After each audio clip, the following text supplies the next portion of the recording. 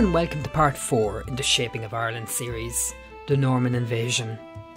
So far in the series, we've travelled through prehistoric and Gaelic Ireland, uncovering the mysteries, quirks, and challenges faced by the early Irish peoples. Over the centuries, society was transformed from hunter gatherers wearing animal skins and living in cow doo doo huts to farmers, traders, craftsmen, and scholars constructing dolmens, churches, and other mass infrastructure projects. We've seen the development of a unique language, culture, religion, and a thriving international economy. Ireland transitioned from pagan to Christian and evolved from barbarians to scholars recognised across Europe.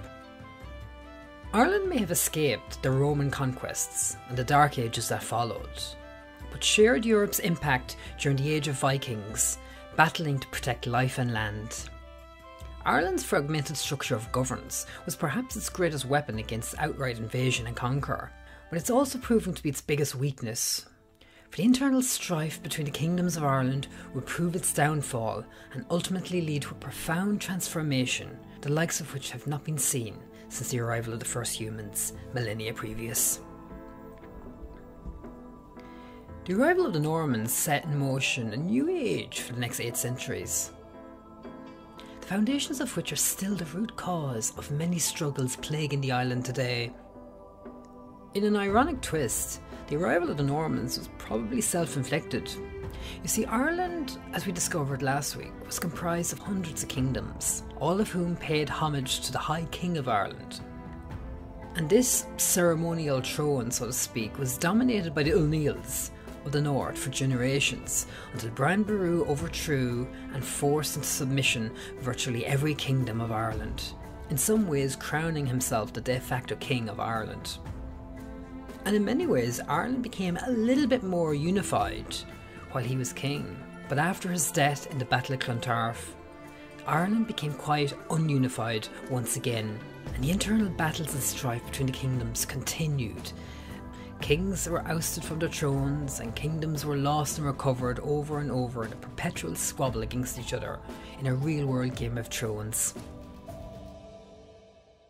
In the 12th century, one random kingdom and its king, Dermot MacMurrough, would take these battles to the next level. Upon the unexpected death of his brother, Dermot became King of Leinster his crowning was met with opposition by the then High King of Ireland, who was also the King of Connacht. And he feared that Dermot posed a significant threat, and it wasn't long before an enterprise was established to oust Dermot from his inheritance. The High King enlisted the aid of his ally, the King of Breffni. Breffni was a small kingdom comprised primarily of what is now Leitrim and Cavan, the King of Breffni engaged in a cruel attack on the Kingdom of Leinster's livestock, attacking their food supply and starving the kingdom into instability. This plan worked and Dermot was ousted, but only temporarily as he soon regained his throne thanks to the many clans of Leinster coming to his aid. He remained in power for the following two decades, and he even went as far as developing an official alliance, shall we say, with the High Kingship, going into battle and raiding the lands of Tiernan O'Rourke. Dermot apparently abducted O'Rourke's wife, Dervalag, who we now pronounce today as Dervla. Now, history is divided as to how reluctant Dervla was at being taken away from her husband. She remained in Dermot's protection for many years. 1166, the High King, an official ally of Dermot, broke a peace oath with a neighbouring kingdom. This breach led to the majority of his allies quickly distancing themselves which ultimately left the High King alone and vulnerable for attack. And of course, that's exactly what happened. And it was this sudden power shift that gave Tiernan O'Rourke perfect opportunity to seek revenge on Dermot invading Leinster. Dermot was deposed by the new High King of Ireland and exiled, forced to flee across the Irish Sea to Bristol in England. This is the ultimate pivotal point in Irish history for Dermot's next action would radically alter the destiny of the island for the next 800 years and counting. When you think about our love hate relationship with our closest neighbour and trading partner, the issues of Northern Ireland, and why the island is divided in the first place, and why Brexit is stalled on issues over a border either on land or in the sea. It was this action of Dermot over 800 years ago that put Ireland on the path we walk today.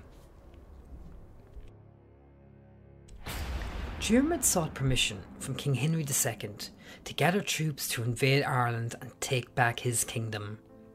Now let's backtrack two decades earlier. Across the Irish Channel to Clairvaux Abbey in the Kingdom of Burgundy was now a region of France. The Archbishop of Armagh, who history would remember as Saint Malachy, had died while en route to Rome. His friend and biographer, Bernard of Clairvaux, best known as Saint Bernard and the founder of Clairvaux Abbey, spoke of Malachy as a reforming bishop and painted Ireland as a barbaric country with a shameless disregard for morals. Moving forward a few years, and the Royal Council of England are squabbling together over plans to invade Ireland. Theobald of Bec, who was Archbishop of Canterbury, a claim over Ireland. But as part of reforms for the Irish Church in the Synod of Kells of 1152, the Archbishop of Armagh was appointed Primate of Ireland.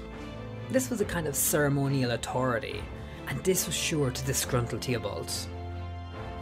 But plans were halted to invade Ireland because England was in the midst of his own problems. 21 year old Henry Fitz-Empress had just been crowned king of an empire torn apart by domestic disputes, discord among its French territories, all while England was recovering from a 20 year civil war so there was little hunger for an enterprise across the Irish Sea. Around the same time, Nicholas Breakspear, an English clergyman, becomes the first and only Englishman elected Pope. He would be known as Pope Adrian IV. In 1155, Pope Adrian IV issued the Bull of Laudabiliter to Henry II. This was a decree granting Henry the right to invade and govern Ireland. It also included the enforcement of Gregorian reforms of the Church. This was perhaps the primary motive of the decree, because it's no secret the church were disgruntled by the mismanagement and lack of reforms being implemented by the Irish Catholic Church. Now, we already know Henry wasn't in favour of military operations towards Ireland and followed the advice of his mother, Empress Matilda. So, when Dermot MacMurrough arrived before the King of England in 1166, this must have been music to the ears of the Royal Council. Dermot received permission from Henry II to solicit the service of Norman mercenaries including Maurice and Robert Fitzgerald and Robert de Clare, who history would remember as Strongbow. Early May 1169, and a large fleet of Normans landed on the shores of Bannow Bay, County Wexford, and lay siege on Wexford town. With his well trained Norman mercenaries, from abroad and the aid of his remaining allies in Ireland, Dermot took back his kingdom. But it came with a significant price tag. You see, Henry II didn't grant Dermot permission out of the goodness of his heart. Henry II would be granted lands. So too would Maurice and Robert Fitzgerald, and Strongbow would be given the biggest prize of all marriage to Dermot's daughter and become Dermot's successor. Dermot didn't live long after recapturing his throne. He died in early 1171, and Strongbow succeeded him, with reluctance from the indigenous clans, but Strongbow came out on top in the end. And this made Henry II very uncomfortable. In fact, he was becoming increasingly concerned about the power of the Norman masonries in Ireland. And to put down his authority, the same year of Dermot's death, he accompanied a second wave of Norman invasions to Waterford Many of the kingdoms submitted to Henry. The church must have been beside themselves, with Adrian IV's successor, Pope Alexander III, congratulating Henry on muzzling the barbaric nation, succeeding in their goal of pushing the reforms on the Catholic Church of Ireland. And of course, the nice taxes that would start flowing towards Rome now. And Henry awarded lands to his youngest son, John, with the title of Dominus Hiberniae, Lord of Ireland. And when John became King of England, these lands came under English Crown territory. When you look back at Dermot, he was very naive in thinking he could utilise a foreign army to his own advantage. Perhaps he was blinded by revenge and pure ambition for the High Kingship of Ireland. Either way, he was seen as a traitor, aiding the invasion of Ireland by the English. His obituary in the Gaelic Annals reads Dermot MacMurrough, King of Leinster, after having brought over the Saxons, after having done extensive injury to the Irish, after plundering and burning many churches, died before the end of the year of an insufferable unknown disease. He died at Ferns without making a will, without penance, without the body of Christ, without unction, as his evil deeds deserved. The consequences of Norman presence transformed the island over the next 200 years. Dominating castles and churches popped up across the colonised island. Feudalism was introduced, and lands were divided with hedges, and county borders started to take shape. It was this period that the English language started to spread, while Brehon laws, the Gaelic system of governance, was slowly replaced by common law. The Parliament of Ireland was established in 1297, and the Lordship of Ireland claimed lordship over the entire island, despite large parts of the island still remaining under Gaelic control by Gaelic kingdoms. And the regions of Gaelic and Normans fluctuated over the centuries, while many Normans integrated with the Gaelic kingdoms. Over time, there wasn't a clean cut divide between Northern and Gaelic Ireland. The Catholic Church was just as complicit in the invasion of Ireland as the English crown was. And I guess back in those days, they were much the same. The Church held strong influence across European kingdoms, and Rome now enjoyed the flow of taxes from Ireland after the first papal taxation register compiled between 1302 and 1307. This was the first census of Ireland, which included a list of properties. By now, we have entered the 14th century, a period of unrest and disruption across Europe to which Ireland was not immune from. With a devastating global pandemic, the Black Death was one of the many factors that saw Norman hold over Ireland decline and paved the way for a Gaelic resurgence. And it is here I will leave you for this week.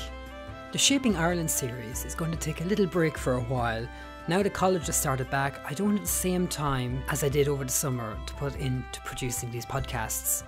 So until we return in 2021, bye for now.